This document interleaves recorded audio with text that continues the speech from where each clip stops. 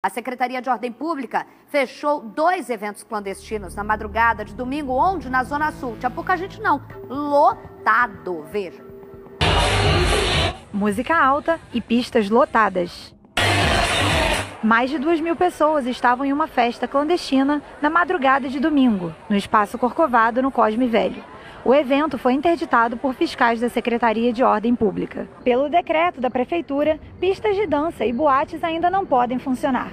Só este ano, 157 eventos clandestinos foram interditados no Rio. Uma outra festa também foi descoberta pelo setor de inteligência da Secretaria. Cerca de 600 pessoas estavam em uma boate no Jockey Club.